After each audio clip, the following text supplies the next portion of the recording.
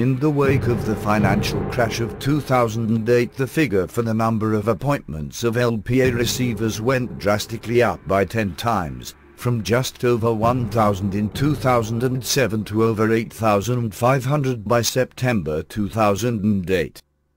The authors are Matthew Ditchburn who is a senior associate in Lovells real estate disputes team and Joe Pitt is a director of Atisreal responsible for the corporate recovery business in London and also a During the same period the number of falsely exaggerated insolvencies raised were also increased which is the subject of a separate investigation.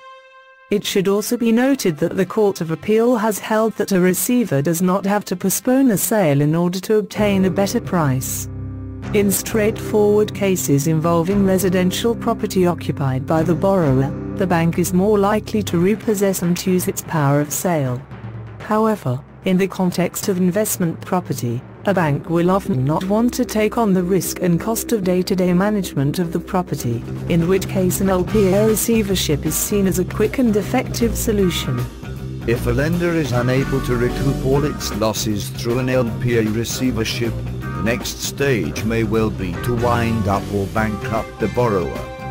This is rarely the bank's preferred choice, and the poor press created by such back to the 1990s actions is generally seen as bad for everyone. So the LPA receivership is the easy option. Both were initiated by banks, building societies and mortgage lenders trying to clean their books. Both involved attempts to gain possession and then sell on the values to associated companies and agents at unrealistic terms to increase the lender's profits. I want to bring to your attention one particular case where the mortgage works appointed an LPA receiver. The company called Touchstone Limited, who are heavily involved in such deals, even though the owners, Mr. and Mrs. Slim, were never in reality in arrears. Any alleged arrears were improperly if not illegally applied by TMW as was later accepted by District Judge Taylor. The most common tactic in these cases is for the lender to threaten expensive and protracted legal battles that for the borrower would only worsen the situation. In addition unfortunately the district judge in the case of Mr. and Mrs. Slim died before the case was concluded. Up until this stage TMW had denied all charges but the outcome of an independent expert review directed by the late District Judge Taylor confirmed every point in favor of Mr. and Mrs. Slim and it was clear that TMW had lost the case that they had dragged out for five years. So TMW offered either take Tomlin order as an agreement or expect further protracted negotiations. During the proceedings Mr. Slim had suffered a serious heart attack brought on by the stress of the illegal actions of TMW and was financially reduced by the costs of these proceedings. Having had to live with the constant threat of the loss of the property for the last five years at least a Tomlin order would prevent that from happening and reduce the legal costs so under duress they accepted.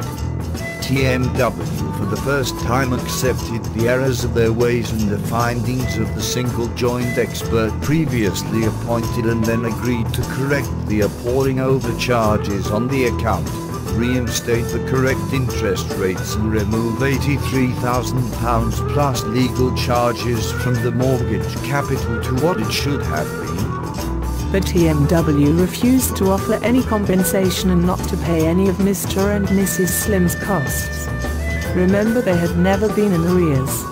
So Mr. and Mrs. Slim took the matter to the FOS whose first report was totally negative and totally misinterpreted the claim of Mr. and Mrs. Slim even though the Financial Ombudsman Service had the entire documents before them. It seems that the FOS handling of the whole matter needs to be now investigated by the Financial Services Authority since the FOS is so toothless. Our conclusions are that the Mortgage Works UK plc was wrong to firstly appoint the LPA receiver in the first place because there were no arrears. And secondly wrong to try to repossess our house which was never in arrears. The Mortgage Works UK plc was also wrong to deny the original evidence for over five years until forced to accept the single joint experts review confirming no arrears at any time. Again, the Mortgage Works UK plc was also wrong to use unscrupulous solicitors to beat down Mr. and Mrs. Slim's ability to fight a just cause resulting in the heart attack. Again the Mortgage Works UK plc was also wrong to put excess financial pressure on Mr and Mrs Slim causing great stress and difficulty and also try to avoid compensation by use of the Tomlin order to prevent a final court decision. Finally, the Mortgage Works UK plc was also wrong to fail to quickly and clearly inform the credit agencies that the TMW were wholly at fault in creating bad debts on Mr. and Mrs. Slim's accounts. It is our conclusion that the mortgage works threw excess money into the case merely to delay the case and in their refusal to accept guilt. The FOS claimed to have read the documents Yet they draw the conclusion that the Mortgage Works UK plc acted correctly in trying to seize the house in credit not arrears and treat the vulnerable owners despicably. Is this justice?